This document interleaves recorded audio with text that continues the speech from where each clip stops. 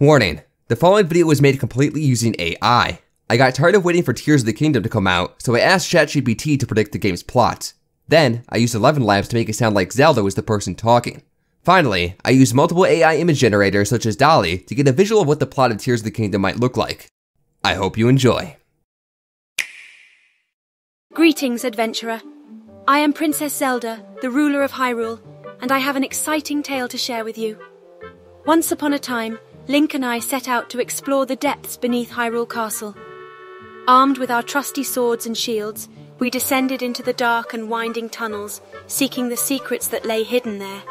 As we descended deeper and deeper, we stumbled upon an ominous chamber that was sealed with an enchanted barrier. Without hesitation, Link drew his sword and shattered the barrier, revealing a room with the remains of Ganon, the evil creature that had once terrorized our land. Suddenly, we heard a rumbling sound, and before we knew it, Ganon came back to life. Ganon attacked us, and in the chaos, he managed to corrupt Link's arm with his dark magic. Link fought valiantly to resist the corruption, but in the end, Link was left with no choice but to retreat. Ganon quickly captured me, and I found myself imprisoned in his dark castle. But that's when I remembered the legends of the floating islands in the sky.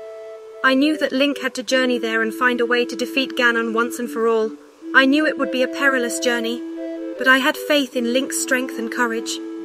I communicated with Link through telepathy, guiding him on his journey and warning him of the dangers he would face, all while leaving me behind to wait and hope for his safe return. On his journey, Link faced many challenges along the way. He battled fierce monsters, explored treacherous dungeons, and solved puzzles to find the pieces of the Triforce. Then, he made his way to Ganon's lair.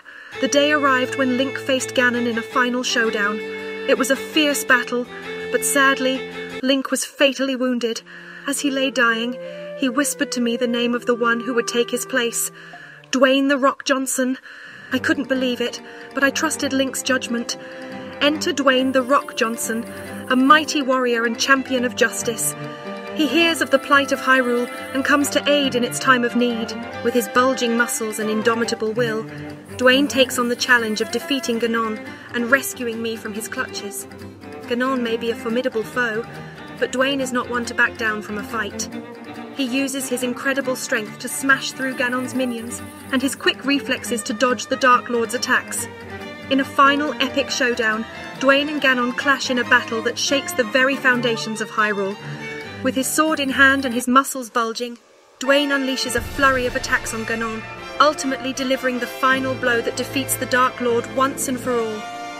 As a token of gratitude, I gave Dwayne a kiss on the cheek. But to my surprise, he leaned in and kissed me on the lips.